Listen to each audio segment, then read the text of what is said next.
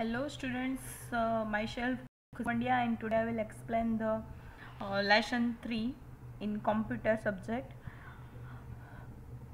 And uh, I will explain the image tag. Students, uh, I think मैंने आपको previous video में बहुत सारे टेक का एक्सप्लेनेशन दिया था एंड वो टेक का यूज़ क्या है वो भी मैंने आपको बताया था स्टूडेंट्स तो मैंने ऑलरेडी आपको जो प्रीवियस वीडियो था उसके अंदर मैंने आपको लिंक टैग एक्सप्लेन किया था. तो how to work the link in your web page. So students uh, today i will explain the image tag how to work the image tag.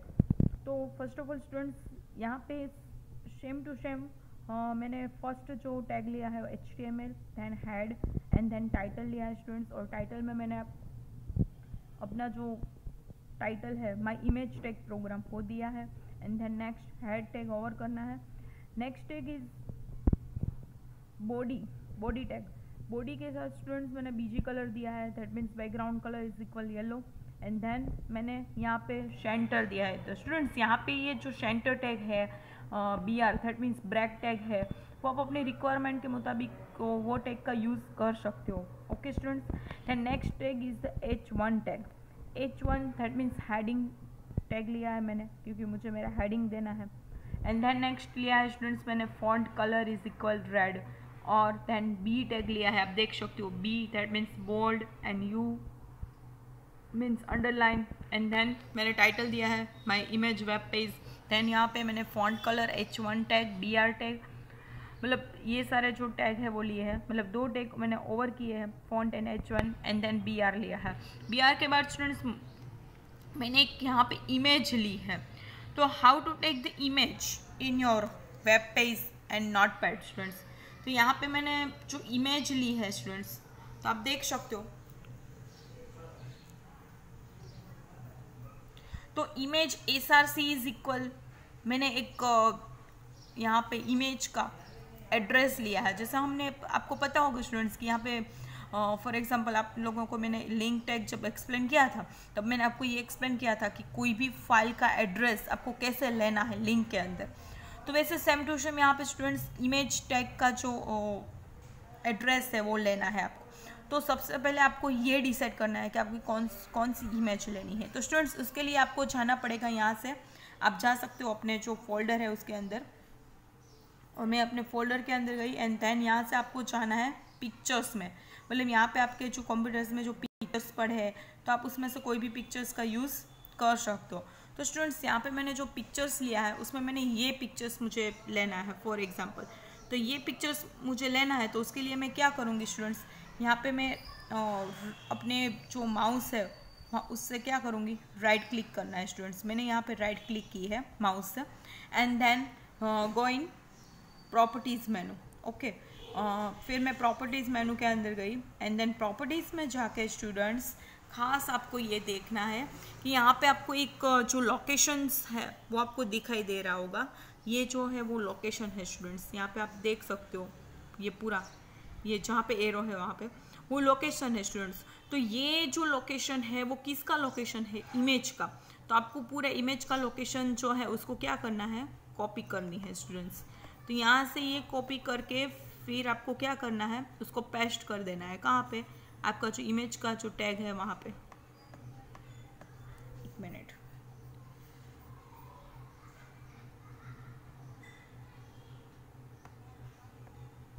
ये स्टूडेंट्स मैंने कॉपी कर ली ओके तो ये जो copy करके लोकेशन आपको कहाँ पे पेस्ट करना है आपका जो स्पेशल नोट पैड विंडो है जहाँ पे आपने कोडिंग किया है वहाँ पे आपको आ, ये इमेज का जो कॉपी किया है वो आपको पेस्ट कर देना है।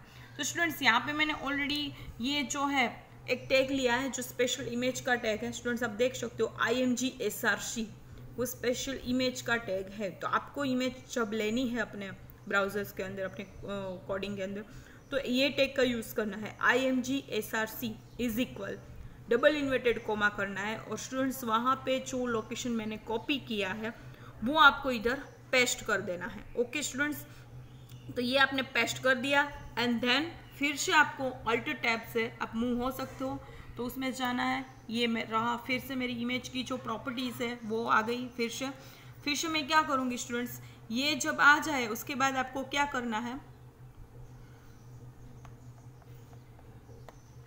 यहाँ पे देखो स्टूडेंट्स आप, आपको दिखाई दे रहा होगा, ये लोकेशन कहाँ तक है?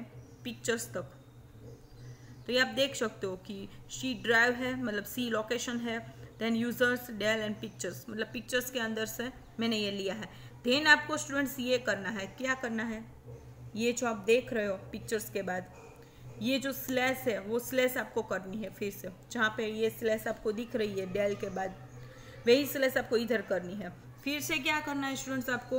आपको जाना है अपनी इमेज के अंदर। और इमेज के अंदर जब आप लोकेशंस की कॉपी करके वहाँ पे कर दो कॉप पेस्ट तो उसके बाद आपको क्या करना है? एक स्लेस करनी और स्लेस करने के बाद आपको ये वाला जो है स्पेशल इमेज वो कॉपी कर लेना है। ओके ये कॉपी करने के बाद आपको यहाँ पे जब आपने ये स्लेस किया है, उसके बाद आपको इधर क्या कर देना है? पेस्ट कर देना है। और स्टूडेंट्स आपको खास ये भी देखना है कि ये जो इमेज मैंने आपको ली है, वो आपकी कौन सी इमेज है? जेपीजी है पीएनजी है तो स्टूडेंट्स ये आपको कैसे पता चलेगा कि ये इमेज जो है वो जेपीजी है कि पीएनजी है? तो यहाँ पर आप देख सकते हो टाइप्स ऑफ़ फाइल्स ऐसा लिखा है।